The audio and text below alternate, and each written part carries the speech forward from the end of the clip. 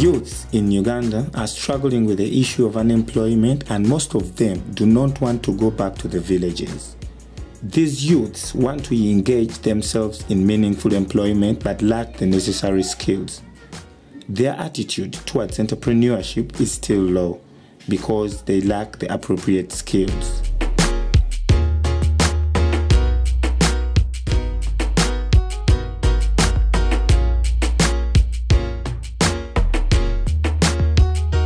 European Union is supporting International labor Organization train young people with a set of skills that empower them to start their own businesses.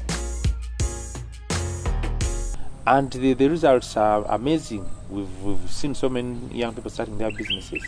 They have employed themselves, they are employing fellow young people, but they're also contributing to the economic development of this country.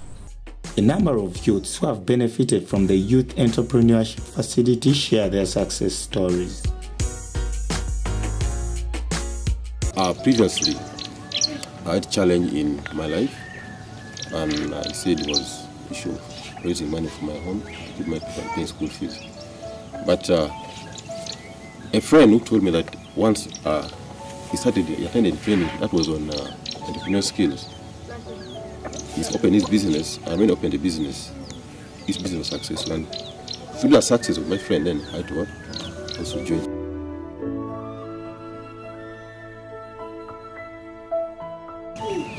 And most effective was I learned how to make a business plan.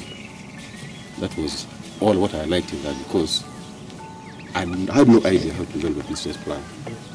And uh, a lot of things which were entailed in that I had to? Made me to, uh, to like the training. I learned uh, one thing how to cost listing. I also learned on, uh, as I told you, was a business plan. I also learned of uh, uh, so sources of, of uh, getting money for a business, particularly the youth livelihood program.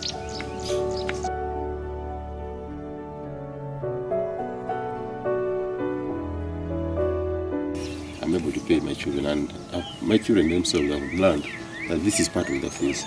So what? this and this badge here, because if I sell two, that is a, one somebody's school fees. So uh, through through this training, it has made a change.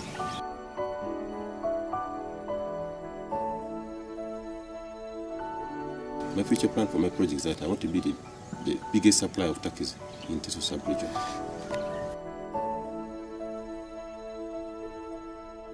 My name is Odoronier Vincent Brian. When I was invited and I attended the first training, we were given a component of um, start your business um, modules with Entango coming up with a business plan. I want to assure you I really learned a lot and now as I talk I have a business plan and I can make as many business plan as possible in different business areas. In Uganda and Africa as a whole, that really, they should get the skills, they should get the training of ILO so that they establish business that can employ other young people who are really lacking what to do, who are jobless outside. They should not sit and wait. They need to start something and build on. I didn't know about my specific talented skill. So like when the ILO trained us, that's when I gained the skill. I learned a lot of things. For example, ILO trained us to be self-reliant and also to create job for the other youths because youth these days the the okay they're seeking for jobs yet the jobs are at their stake. They can make it on their own. A lot has changed in my life because in those days I used to depend entirely like on tuition from my parents but now I'm able to contribute at least half of my tuition.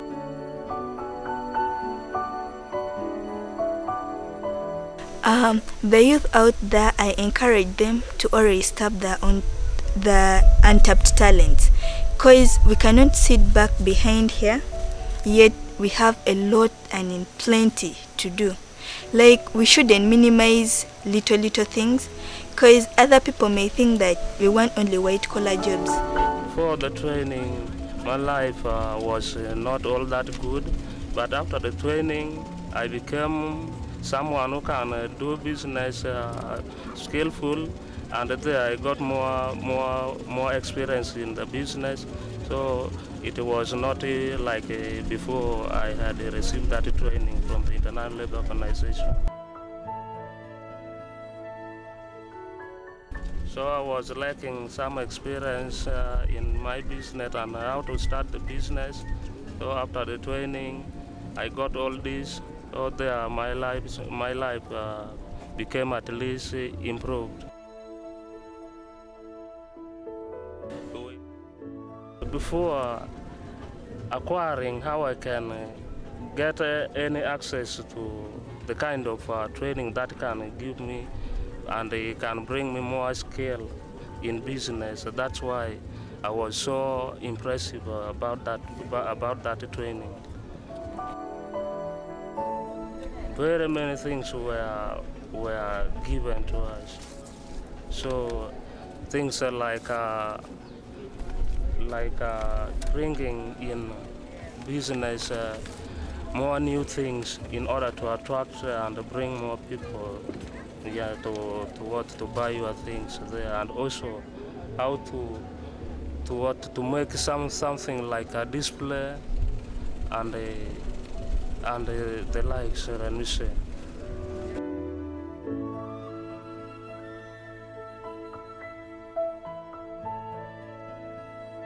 Immediately after the training, we form an association for the disabled persons.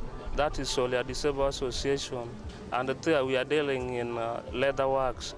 There, after after after the district gave us some little money from the special grant, we went to Kampala and bring some some some small requirements like the soles, uh, glues, and uh, also some other leaders. And uh, now we are still we are working with some of our our our disabled persons. They are still working on those products. I had a lot of a lot of uh, skill which I was missing before getting the training, like uh, how to budget how the expense in my business and the profit I normally get. But after that training, really, I know how now to budget for my business and the expenses and the profit and where to place my money now. My life was not all that easy because I had a lot of problems. I could not even know how to plan for my business and really I had nothing like any skill of business in me. So it was hard for me to plan and develop up my business. What motivated me most is that really I just heard about that training of business training. Then I was very interested because you know when I, when I started my life, when I dropped out from school, I knew I wanted to have that art of business. So I wanted some skill and the rest of it. So after that, I heard about that. I was very interested to go and attend. In fact, how to plan, how to bank your money, how to see the expenses you are entering in your business and the, what the profit you're getting, and where to what to budget your money and where to put your money exactly. So I learned a lot of it. As I talk now, I know where I can now put my money and how to budget how my business is going.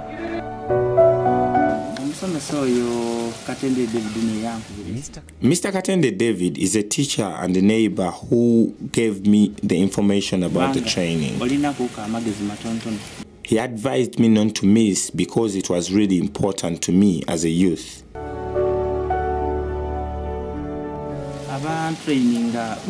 ILO has been sending different people to monitor my project almost every year.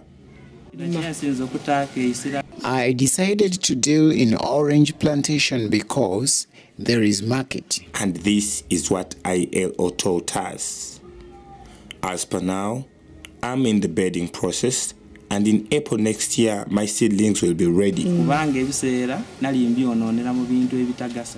What has changed in my life is I have learned how to budget my time well. Uh, before having that training with the labor organization, life was not easy in business because I couldn't conduct my business very well. Uh, in such a way that I used not to take records of the business. I could not demand very well because sometimes the people I'm supposed to demand, I could forget them. I used not to note them down. I used not to mind of like credits that I normally give out, how I should demand them back into the business. Then customer care, that was something that I never took serious note of. Then timekeeping, I used to come late. I had that feeling that after all, that is my business.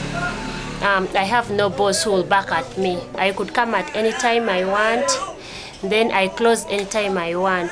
Sometimes my customers could call me when I'm at home. But after that training, I had to improve on that all. According to the investigation I did, what I've got to realize from the youths is that uh, for them, what they think of, they think of big capital to start their business. Anything around you is a capital. Being land, animal, anything you have, capital is not only cash.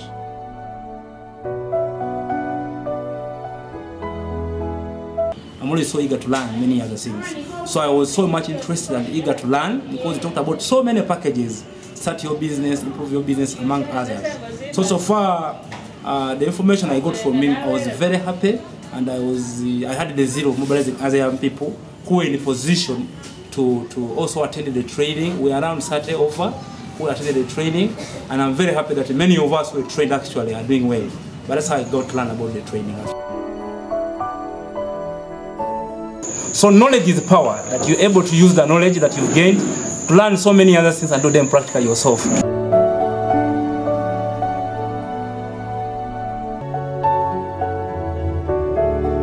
The youth outside there, I was basically, or I rather encourage all of you to come on board and just avoid being given money.